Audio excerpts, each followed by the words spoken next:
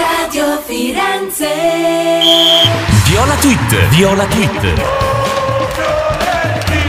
A cura di Fiorentina1.com, la voce del tifoso viola.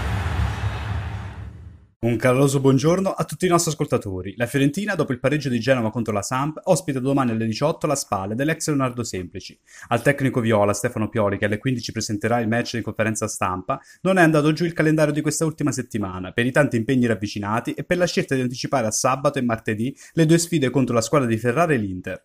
Pioli, che molto probabilmente schiererà ancora Marco Piazza nel tridente antispall e potrebbe effettuare un mini turnover in vista dell'intrasettimanale a San Siro. Dall'altra parte, ancora una gara emozionante per Leonardo Semplice, che ritorna nella sua Firenze dopo gli applausi della Fiesole nel pareggio della scorsa stagione.